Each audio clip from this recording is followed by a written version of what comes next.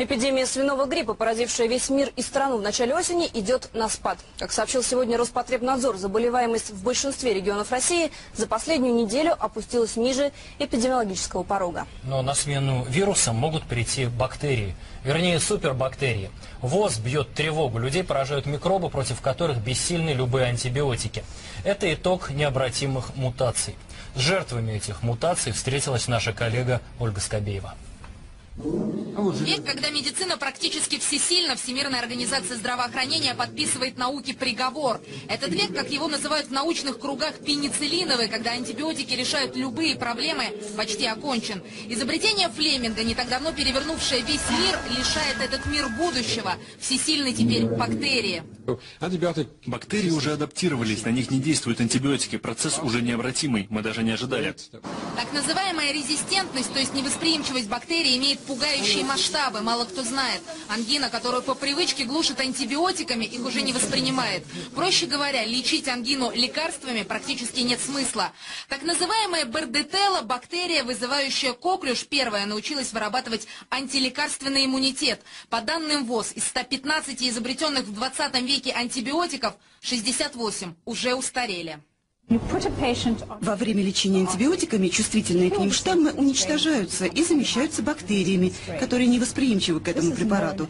Это мы называем побочным эффектом. То есть шутка, что без лекарств мы болеем неделю, а с лекарствами всего 7 дней, больше не шутка. Татьяна, которая воспитывает троих дочерей и постоянно их от чего-то лечит, к выводам ВОЗ пришла сама. Доктор практически всегда нам назначает лечение антибиотиками. Мы постоянно их использовали.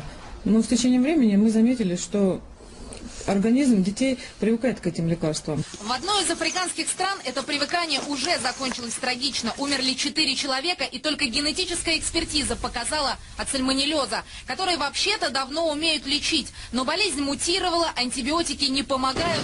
То же самое грозятся в ВОЗ через 15 лет случится с туберкулезом. Существуют болезни, на которые вообще перестали действовать антибиотики. Бактерии к ним уже привыкли, а нового пока ничего не изобрели. Изобретение – это минимум 15 лет и миллион долларов. Столько стоит каждый новый неизвестный бактериям антибиотик. Елена, которая лечилась всего-то от простуды, перепробовала десятки лекарств, лежала в больнице. Вызвали врача, выписали антибиотики. И вот после этого с периодичностью 10 дней приходил врач, выписывали новые антибиотики. Ну, а, суть потому, что приходил все новый и новый врач и выписывал все новые антибиотики, они не помогали.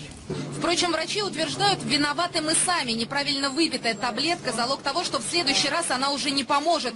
И здесь снова уже банальное, нельзя лечиться самостоятельно. При приеме первых доз антибиотика погибает 90% самых слабых бактерий. 10 грубо говоря, процентов самых сильных бактерий остаются. Если в этот момент остановить лечение – мы генерируем новое поколение бактерий, устойчивых к этому антибиотику. Впрочем, принимать таблетки по рецепту, как выяснилось, не панацея. Наша еда уже содержит антибиотики, мясо ими буквально пропитано.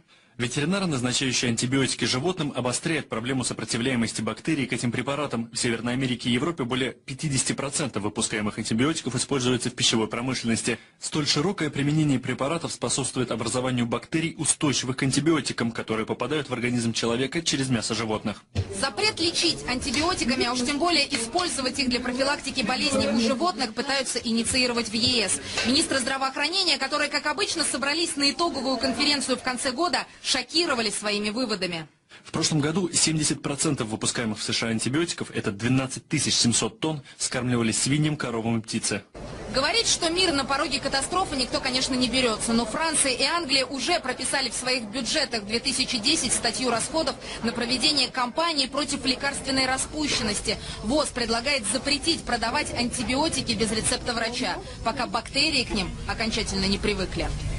Ольга Скобеева, Александр Связин и Антон Беляков. Вести.